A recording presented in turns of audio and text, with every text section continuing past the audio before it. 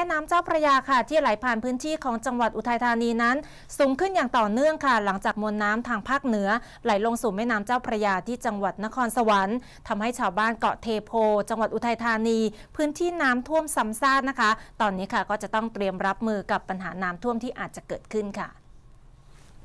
จากอิทธิพลพายุโซนร้อนโพดุลค่ะ ส่งผลให้จังหวัดทางภาคเหนือนั้นเกิดอุทกภัยในหลายจังหวัด ล่าสุดนั้นมวลน้ำดังกล่าวได้ไหลลงสู่แม่น้ำเจ้าพระยา ที่จังหวัดนครสวรรค์ทำให้ระดับน้ำสูงขึ้นอย่างต่อเนื่อง โดยมีอัตราน้ำไหลผ่านที่สถานีวัดน้ำสีสองอำเภอเมือง วัดได้นะคะอยู่ที่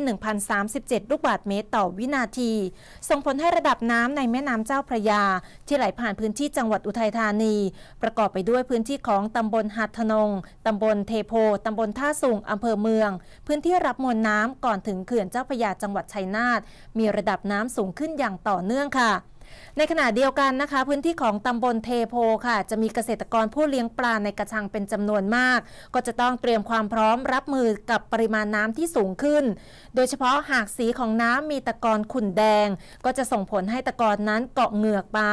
และทำให้ปลาในกระชังนั้นอาจจะเสียหายได้นะคะ รวมทั้งณขณะนี้ก็ปรากฏว่ามีผักตบชวาค่ะไหลมากับน้ำและมาติดค้างที่กระชังปลา เกษตรกรก็จะต้องมีการเตรียมความพร้อมรับมือในเบื้องต้น ด้วยการทำไม้ไผ่นะคะ กั้นไม่ให้ผักตบชวานั้นไหลเข้าสู่กระชังปลานอกจากนี้ก็จะต้องคอยชักลากกระชังปลาค่ะ เข้าฝั่งตลอดเวลา หลังจากที่ระดับน้ำนั้นมีการผันผวนนะคะ เพื่อเป็นการป้องกันความเสียหายที่อาจจะเกิดขึ้นตามมานั่นเองค่ะ